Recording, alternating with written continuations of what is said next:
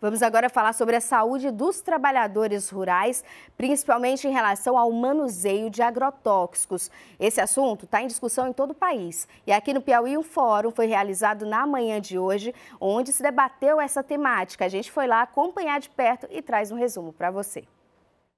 O evento aconteceu na sede do Ministério Público na zona leste de Teresina. A solenidade marcou a abertura das atividades do Fórum de Combate ao Mau Uso de Agrotóxicos no Piauí.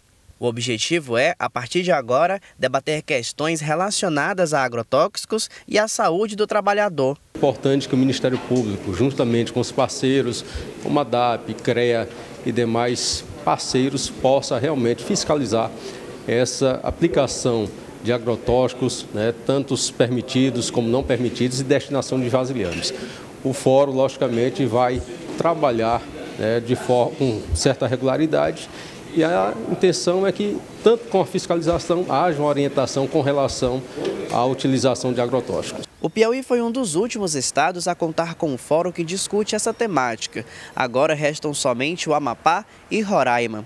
Como parte de atuação do Fórum, serão realizadas ações educativas que vão informar a sociedade sobre os riscos da produção, armazenamento, transporte e uso de agrotóxicos. O primeiro Fórum Estadual foi criado em 2001 no estado de Pernambuco, e isso deu margem para outros estados aderirem à prática. Oito anos depois, foi lançado o Fórum Nacional a questão dos agrotóxicos é um problema internacional também, de outros países, mas no Brasil é, tem a sua peculiaridade, porque o Brasil, graças a Deus, é um dos maiores produtores de grão, e é, isso envolve não só o setor econômico, envolve a saúde pública, envolve a qualidade da água, o uso excessivo de agrotóxicos, envolve tudo isso.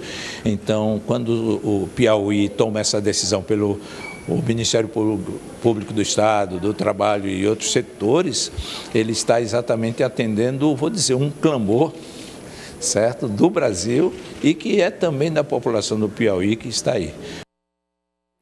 Gente, e nós preparamos duas cartelas para vocês de casa conferirem algumas das consequências da exposição que os trabalhadores rurais têm é, quanto ao manuseio né, e a exposição aos agrotóxicos. Isso quando acontece de maneira exagerada, por muito tempo e até de maneira errônea. Olha só, intoxicação por agrotóxicos, quais as consequências? Tonturas, cólicas abdominais, náuseas, vômitos, dificuldades respiratórias, tem também tremores, irritações na pele, no nariz, na garganta e também nos olhos.